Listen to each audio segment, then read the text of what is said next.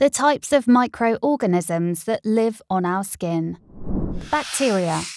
Most of the bacteria that live on our skin are harmless. However, some can occasionally cause health issues. Cutibacterium acnes. These bacteria live on oily surfaces of your skin and hair follicles, and they feed on the sebum that is produced by the sebaceous glands. They can cause acne breakouts because they multiply when there is excess oil production and clogged pores. Corynebacteria. Corynebacteria includes non pathogenic and pathogenic bacteria. Some produce toxins that can lead to diphtheria. However, on the skin, they are mostly harmless and are essential to maintain a balanced microbiome. Staphylococcus epidermidis. Usually considered one of the good guys on the skin, it produces a series of antimicrobial peptides that keep other pathogens under control.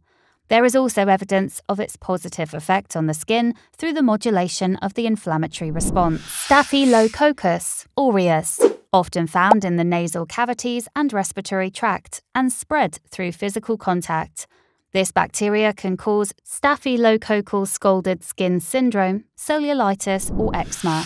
Micrococcus luteus, this is a very common microorganism of the skin and is usually considered beneficial but can become a pathogen when the environment is appropriate.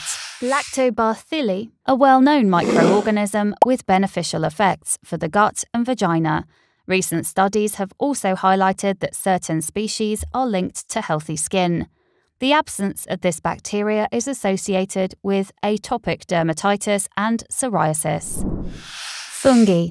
There are skin fungi present at 14 different places across the body between the eyebrows, ear canal, back of the head, behind the ears, heel, toenails, between the toes, back, groin, forearm, nostrils, chest, palms, crook of the elbow.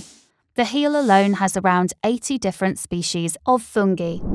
Viruses. The most common viruses on the skin are bacteriophages that infect skin bacteria so they play an essential role in the regulation of the skin microbiota. Human viruses such as herpes or the virus causing warts and verrucas are also common. Archaea. As one of the three taxonomic domains, archaea are a substantial component in areas of the human body, such as the nose, lung, gut, and skin. They resemble bacteria in their shape and size, and they make up around 12% of the human microbiome. However, archaea are relatively understudied due to methodical problems, so not much is known about them. Mites. Mites are also a part of the skin's microbiome. For example, Demodex is the name given to small mites that live in hair follicles. In humans, these are usually found in facial hair and can sometimes cause a condition known as demodicosis. They feed on dead skin cells and can exacerbate pre existing skin conditions in large numbers.